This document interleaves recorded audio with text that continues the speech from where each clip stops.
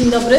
Szanowni Państwo, witam bardzo serdecznie. Dzisiaj jest e, wyjątkowo zimno, ale niedługo będzie bardzo gorąco na stadionie e, miejskim, e, gdzie swój dom ma Łódzki Klub Sportowy. Witam serdecznie Agnieszkę Kowalewską-Wójcik, dyrektor. Zarządu Inwestycji Miejskich. Jest z nami Pan Tomasz Salski, właściciel klubu, Łódzkiego Klubu Sportowego i Marek Rosa, przedstawiciel e, głównego wykonawcy, firma Mirwood. Dobra. Pani dyrektor, ostatnia prosta.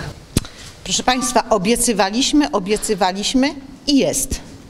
Jest przed czasem. Mamy zbudowane trzy trybuny. Łódzki y, Klub Sportowy może stać się gospodarzem. Inwestycja za 129 milionów złotych. Proszę Państwa, no, y, śmiało mogę już dzisiaj Państwu powiedzieć z pewnością, najlepsza firma wykonawcza, jaka nam się y, mogła w Łodzi trafić, firma Mirbut. Bardzo dziękujemy. Proszę Państwa, y, co dzisiaj mamy? Dzisiaj mamy przede wszystkim pozwolenie Powiatowego Inspektora Nadzoru Budowlanego. Mamy pozwolenie Policji, mamy pozwolenie Sanepidu i jesteśmy na ostatniej prostej, żeby uzyskać pozwolenie Straży Pożarnej. To wszystko pozwoli gospodarzowi w pełni się umościć na stadionie, no i dokonać wrażeń sportowych. Panie Tomaszu. Cóż, ja mogę e, tylko podziękować, że ta cała inwestycja przebiegła sprawnie.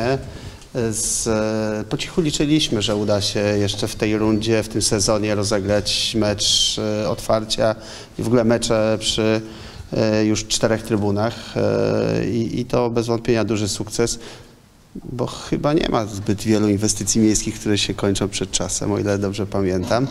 E, I, i tym bardziej, że to, to inwestycja trudna, e, biorąc pod uwagę szereg e, również pozwoleń, które musimy uzyskiwać organizując imprezę masową, czyli tutaj panowie jako fachowcy piszący o sporcie wiecie doskonale, że nie jest łatwo sprostać wymaganiom czy to policji, czy straży w Łodzi.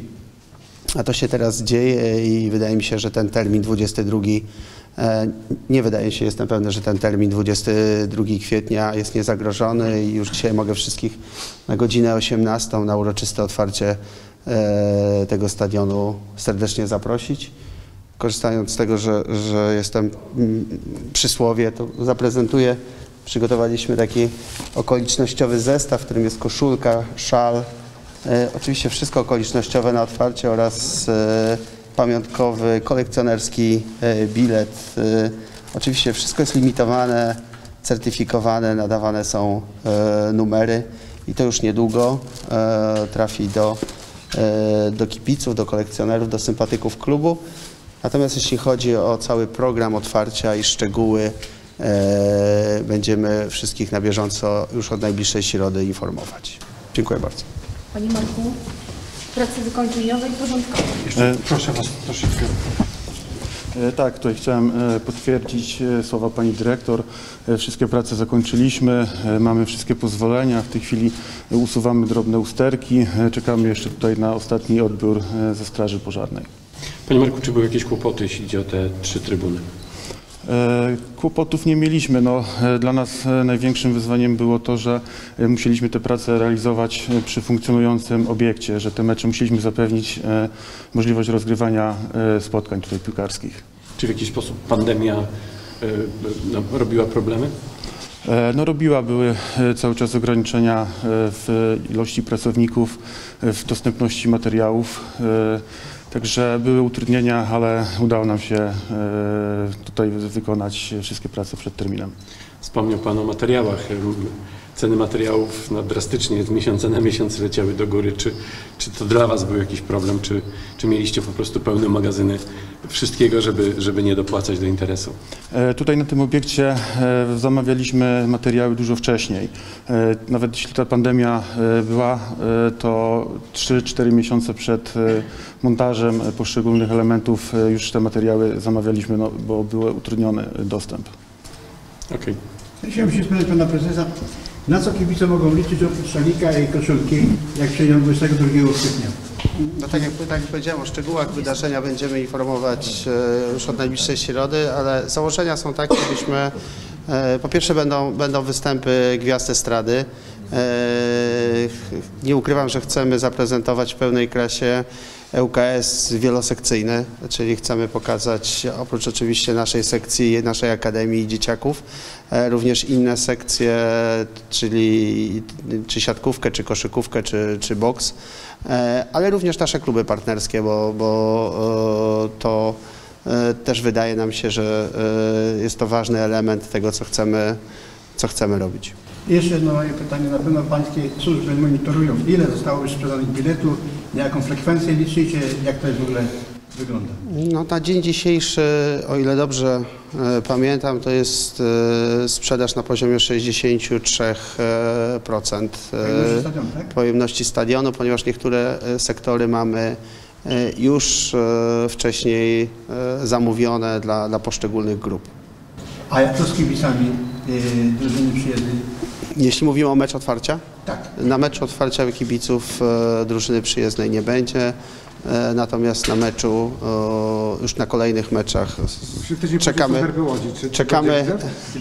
Nie, no, to co obiecałem, my, my złożyliśmy odpowiednie dokumenty i e, będą kolejne, e, kolejne odbiory, e, aby e, kibice następnych drużyn, w tym oczywiście kibice Widzewa, e, mogli uczestniczyć w meczu. I Odry też, tak? Proszę? Odry Opole też, tak? Odry Opole też. Panie prezesie, duża przestrzeń komercyjna jest na tym stadionie. Czy wy macie jakikolwiek wpływ na to, co się z tą przestrzenią komercyjną dziać będzie?